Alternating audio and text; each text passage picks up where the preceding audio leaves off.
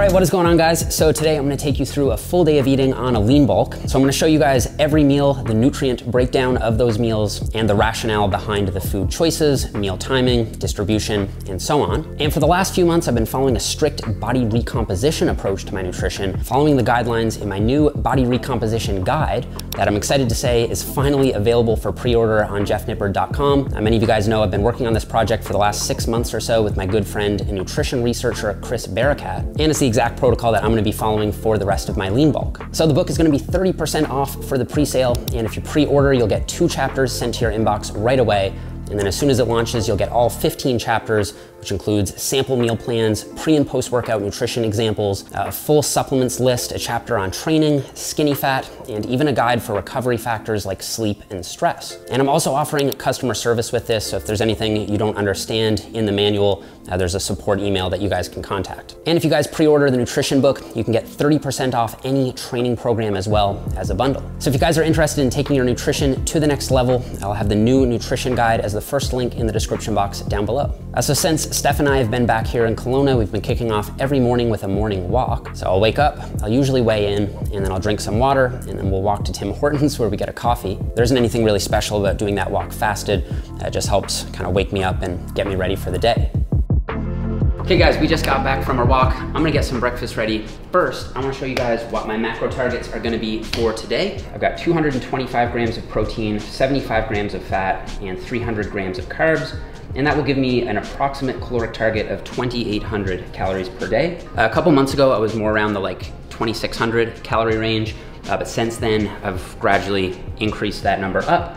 And over the next three or four months, I'm gonna try to increase that number further to somewhere around 3,200, maybe 3,400 or more calories per day while maintaining the amount of fat that I have on me. So my goal is to build as much lean mass as possible while minimizing the amount of fat mass that I gain. Now, some people will note that that protein figure is really high for my body weight. I'm only 163 pounds. However, I do think it's better to go too high on protein than too low, especially when your goal is recomposition. And there's at least four reasons for that. The first is that extremely high protein intakes have been shown to improve body composition in the literature, even as high as 3.4 grams per kilogram. So that's just over 1.5 grams per pound, which is super high for protein intake. Also, protein is the most satiating macronutrient it also has a higher thermic effect than carbs or fats. And also I think you have nothing to lose by going higher on protein. And very high protein intakes have been repeatedly shown in the scientific literature to be safe for bone health, the kidneys, and the liver. So I think a simple cost benefit analysis is gonna show you that it'd be better to go too high than too low. And then I set my fats at around 25% of my total caloric intake and then just fill in the rest with carbs. Um, and I should say I don't always track macros. Um, sometimes I will take more of an intuitive approach depending on the day. And I have been been tracking for like, I don't know, a decade. So I have a really good idea of what's in foods. Um, but since I've been focusing more on body recomposition, I have been tracking more diligently. Um, so we're definitely gonna do that today. All right, let's get breakfast. So for breakfast, just gonna be doing the usual here. I'm gonna do some scrambled eggs, some turkey bacon, uh, some goat cheese on the eggs, uh, kiwi, of course, do that every morning, and um, what else? Oh, and some hash browns, or, well, potato patties, technically. Oh yeah. I don't know about you, that looks like a good breakfast to me. I don't know, man. People always give me a hard time for this breakfast. They're like, why, why, why are you eating those foods? Why the hash browns? And you know, most of it, for this meal, most of it just comes down to, it's a high protein meal. It's relatively low carb, which I like to do because I like to partition my carbs more around the workout and later in the day when my appetite picks up. And other than that, it's just an enjoyable breakfast with foods that I like. So guys, I'm gonna put the macros for this meal up here on the screen. You guys can pause if you wanna check it out. And also I'll have two fish oil capsules and three, uh, well, it's actually just one serving of a, a multivitamin. Uh, I do try to have one or two servings of fatty fish per week, but I'm not, I don't always follow through on that. So um, I just take two of these just to be safe. And I think of a multivitamin kind of as like a nutritional insurance. I think you should always try to max out your whole food options first. And if you do a good job with that, you probably don't need a multivitamin. Um, I like a quote from Alan Aragon. He says, a poor diet with a multivitamin is still a poor diet. but I think in the case of athletes, where it's really common to have nutrient deficiencies, it does make sense to supplement with, with a multivitamin for no real downside. So anyway, that's why I do that. I'm gonna dig in, enjoy this meal, and I'll catch up with you guys in the next one. All right guys, up next, we're gonna be doing our pre-workout meal. Now I would say the pre-workout meal is the most important meal of the day because ultimately it's gonna be responsible for fueling your training, which is what's gonna drive your body recomposition progress forward. So I would say for most of the other meals, the actual timing of the meals isn't so important, but for the pre-workout meal, that's one that I definitely would pay much more attention to. All right, so guys, for the pre-workout meal, I've got a chicken sandwich here. I've got some fresh chicken breast, some shredded cheese, mayo, some spinach, and a little bit of mustard on some ancient grains bread, which is my favorite bread. And then I've also got uh, 100 grams of blueberries over here, and I'm gonna have a banana to go along with that. Um, so for the pre-workout meal, I recommend a soft minimum of one gram of carbs per kilogram of body weight. Um, so for me, that amounts to about 75 grams of carbs. And you also wanna prioritize choosing carb sources that are gonna utilize multiple transporters for absorption. Jorn Trommelen was nice enough to send me a copy of his PhD dissertation, and as part part of his thesis, he recommends co-ingesting glucose and fructose to fuel performance as they use different intestinal transporters for absorption. So the simplest way to do this is to just combine a starchy carb source like bread with a fruit source, which is high in fructose. So for any pre-workout meal, I always recommend having at least one fruit source like a banana, and then I also like to include some berries. So these are the macros for the meal. We've got 46 grams of protein, 13 grams of fat, and 82 grams of carbs, which is gonna make this my highest carb meal of the day. And so for a meal of this size, generally I try to eat it about one hour out from the workout itself, and then about 15 to 20 minutes before uh, I leave for the gym, I'll start sipping on my pre-workout, and I try to time that to be about 30 minutes before my first working set. Uh, in a perfect world, that's when you're gonna get the most benefit out of the caffeine. So I'm gonna dig in, eat this meal, let it digest a little bit, start sipping on my pre-workout, and then we're gonna hit a workout. Let's go. All right, so guys, we're about 30 minutes into the workout, and at this point is usually when I'll have my intra-workout nutrition.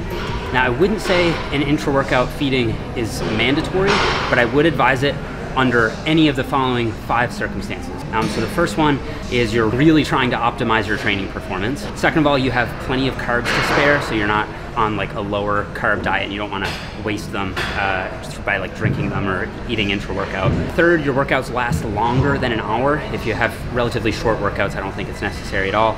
Uh, you train fasted, so you didn't have a pre-workout meal. Probably a good idea to get some carbs in. And finally, uh, it's been three to five hours since your pre-workout meal. That's more similar to fasted where you might want some extra nutrients to keep energy levels high. Um, so for me, what I've been doing is just popping back a few of these fuzzy, fuzzy peaches. So the main idea is you want to have a fast digesting carb source just for continued energy through the workout. And as a general rule, you want to have about a half a gram of carb per minute of training starting around 30 minutes into your workout. So say your workout lasts for an hour, you'd start at 30 minutes, have some fast digesting carb source, and you'd have about 15 grams of carbs, so half a gram per minute after that first 30 minutes. Um, so for me, 15 grams of carbs is just like five or six of these. Top back like a few of those throughout the rest of the workout, and that's really all there is to it. Sometimes I'll go for a liquid carb source, so I'll just like mix up some Kool-Aid or Tang or something like that. Um, but for lately, I've just been going with the fuzzy peaches. So anyway, we're gonna crush the rest of this workout. I'll check in with you guys back home. All right guys, just got back from the gym. We're gonna have our post-workout meal. Now, whenever I finish up a workout, my appetite isn't the strongest, and so I don't really try to rush to get protein in as quickly as possible.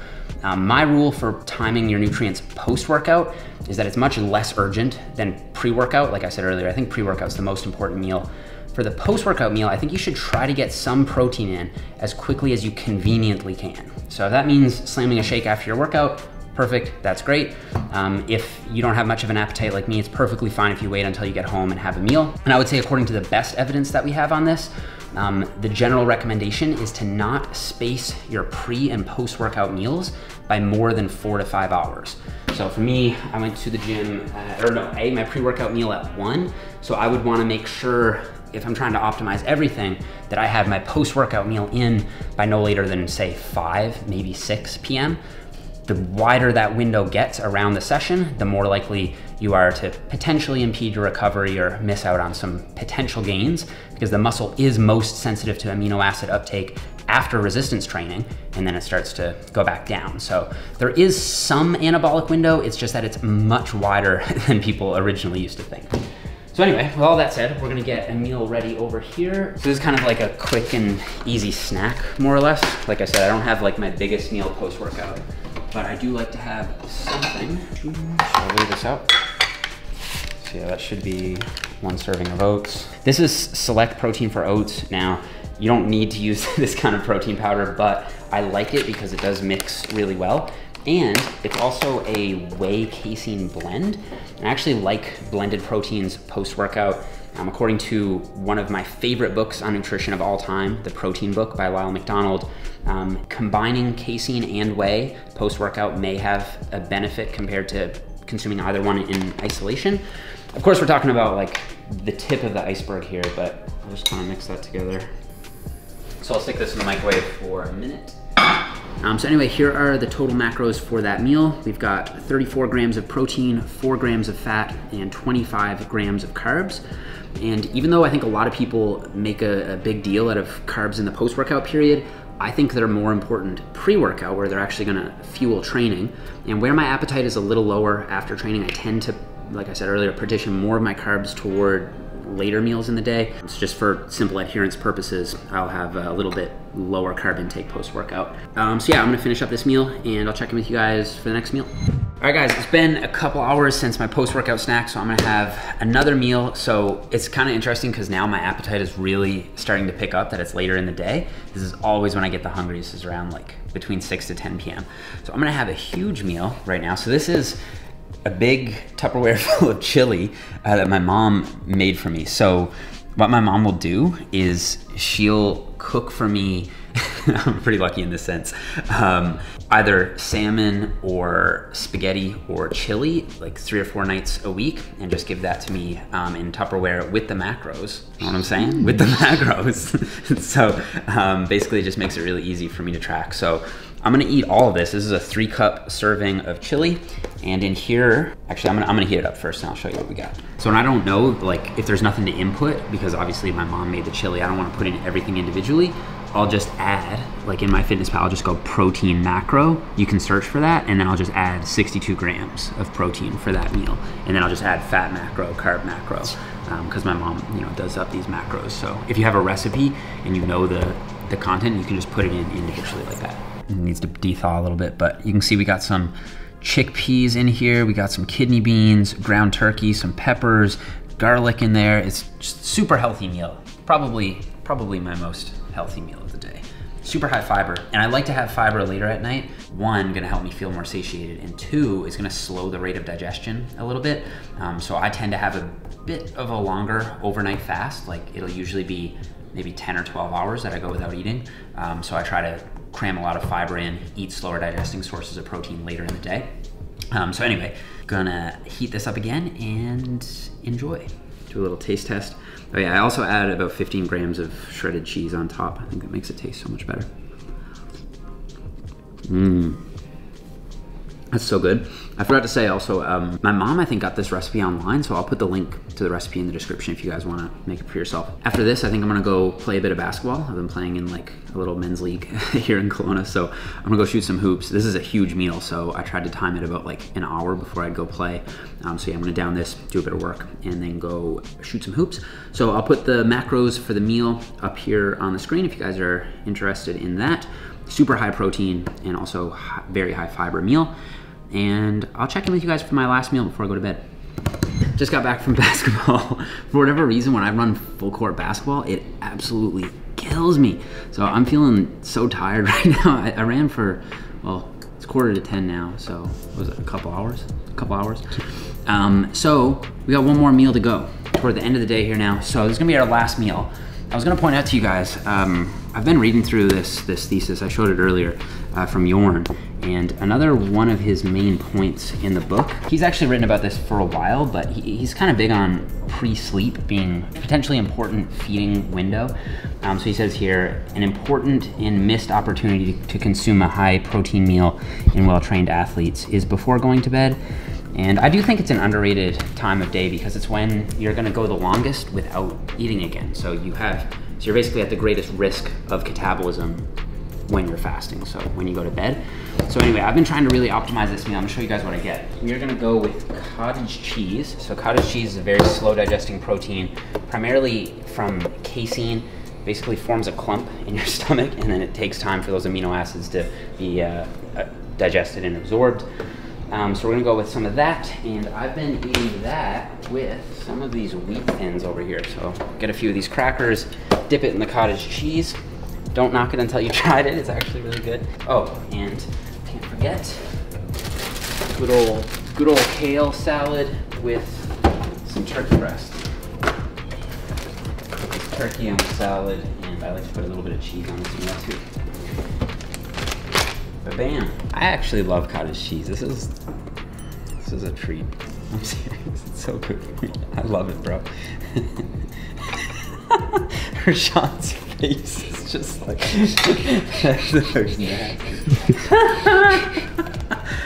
I seriously love it. So serving. Same as the chili, I'll add a little bit of cheese on top. I typically uh, would just eat these as a snack when I'm watching TV. So lately I've been rewatching the Breaking Bad series and I just started season five and I'm convinced that Breaking Bad is the greatest show of all time. Rewatching it gave me such a deeper appreciation for it because I watched it when it first aired and now rewatching it, I just, I feel like I appreciate the show so much more. So I haven't seen the movie that's out yet. I want to finish the fifth season first. But yeah, if anyone has any show recommendations that you think that you think is better than Breaking Bad, comment below. But I personally don't think it exists. So I'm gonna watch a few episodes of that probably as I eat this meal. So these are puffed potatoes. They're kind of like rice crisps, but obviously with potato, I guess. But they're really low uh, carb per serving, really high volume. So it just makes for like a really nice light snack. So yeah, I love these. If you haven't, if you haven't tried them, I don't know if they're available everywhere. We have them here in Canada, but yeah, these are these are awesome. So I'm gonna put the macros for this meal uh, up here on the screen. We got 40 grams of protein, 23 grams of fat, and 72 grams of carbs for 630 calories. So I'm gonna enjoy this last meal. I'm gonna flick on an episode of Breaking Bad over here. If you guys are interested in checking out uh, the new nutrition guide, make sure you hit up that pre-sale uh, link at the first link in the description box down below. Um, also, I did wanna say that in this video, I did focus on some of the finer details of nutrition, which I actually find most interesting, and that is the tone that we take in the book. However, we do also cover the basics where basically if you wanted to get you know some of the results or probably most of the results you could just focus on hitting your calories hitting your macros and we go through all the details in terms of how to set that up in the book but then also go several layers deeper and explain all the complexities of nutrition in there um, so i think it's a really great resource if you're interested hit up the button over here next to my head. Um, that'll take you to the pre-order link. Um, leave me a thumbs up if you enjoyed the video, subscribe if you haven't already, and I'll see you guys all here in the next one.